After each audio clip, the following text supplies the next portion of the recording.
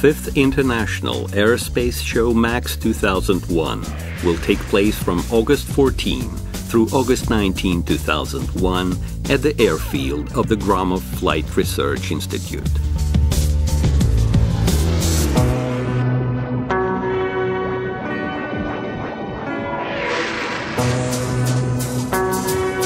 Lines of buses will stretch toward the airfield in the town of Zhukovsky. Dozens of thousands of people will come to watch the dream that has come true, to listen to the stable motor pulse of dozens of aircraft.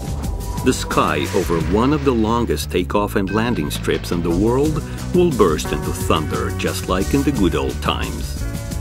Conference halls, chalets, and pavilions will be filled with a multi-language stir.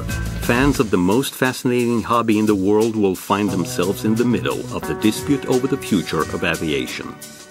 The next generation of the aircraft people will be looking with the eyes wide open at all that will be taking place on the ground and in the sky.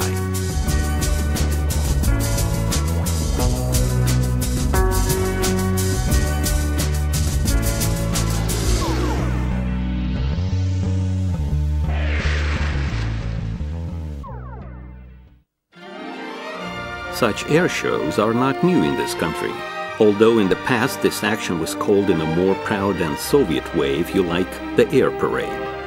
The most famous among them at Tushino and Domodedovo attracted huge masses of people. It is the Air Force Day today, a dear holiday of the Soviet people. As always, the Tushino Air Parade is the main event of the holiday. In the morning, thousands of Muscovites started toward Tushino.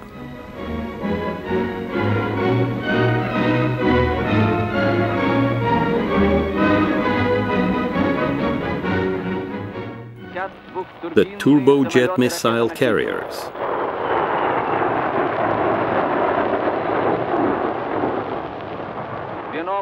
The Naval Aircraft Group.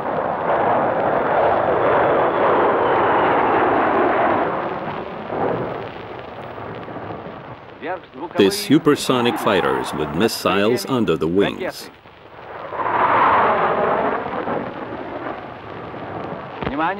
And now, meet the brand new aircraft.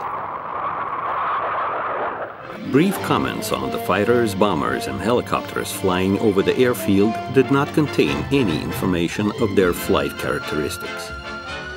Moreover, most of the audience did not know even the names of the mighty samples of our glorious aviation. While everyone knew for sure, until all this might is in the air, one can live and work easy. Yes, this sounded somewhat naive. However, to the so-called interested people in the world, all this unrestrained joy served as an absolutely definite sign. From its birth, aviation has been reflecting the level of the scientific and technological development. The mighty wings of the great nation. Glory to those who create these wings. The wings of the communism building country. Years passed.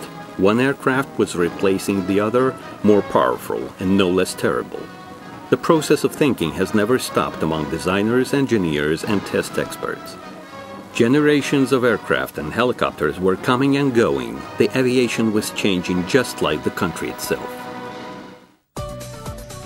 The new economic situation required an aviation forum similar to the world-famous air shows, Le Bourget in France, Farnborough in England.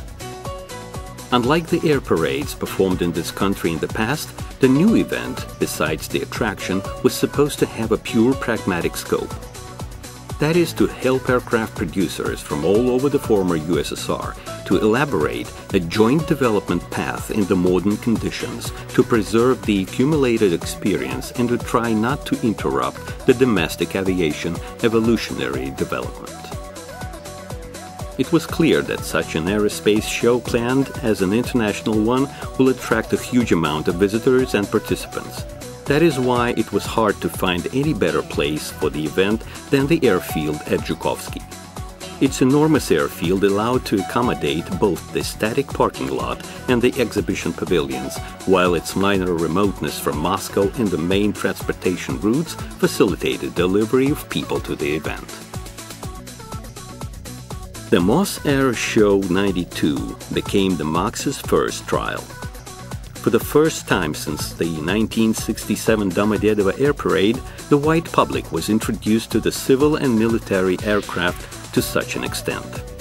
And probably for the first time, the static parking lot contained the exhibits to approach which the Western Special Services quite recently made so many efforts. Now anyone can touch or take a photo in front of them. The Yak-38 vertical takeoff and landing aircraft and the Mi-8 helicopter made the opening of the show by jointly towing a flag. Although it wasn't planned since the Mi-8 replaced the other Yak-38. As the saying goes, better luck next time. One of the Yaks fell down at the general rehearsal.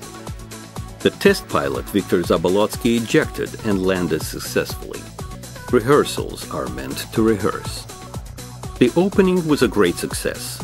The audience was introduced to the beautiful aircraft of the Tupolev Design Bureau. The Tu-22M3 supersonic variable geometry wing bomber armed with missiles is used to fight aircraft carriers.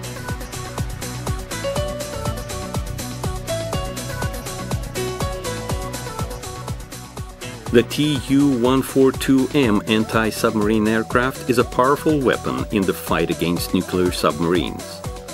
The Tu-160 supersonic strategic bomber is aimed at fighting the most important enemy facilities with the use of its regular and nuclear armament. In the mid-90s, it made the basis for the Burlak airspace system capable of delivering satellites into the orbit.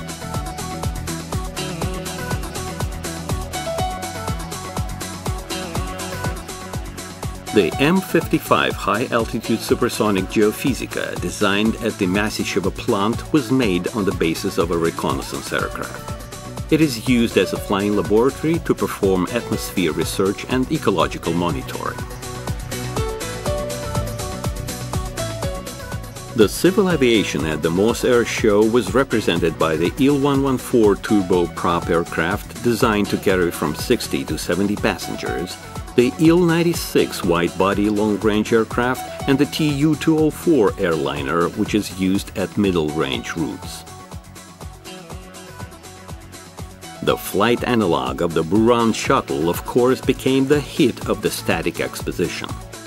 While yet another representative of the Energia Buran space rocket complex was already circling in the sky the VMT aircraft specifically designed to deliver certain elements of the space system.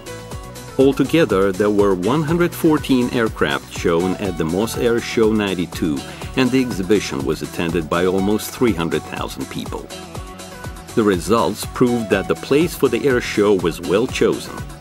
All the airdrome services worked all right and based thereupon, a decision was taken to make the first international aerospace show in Zhukovsky the following year.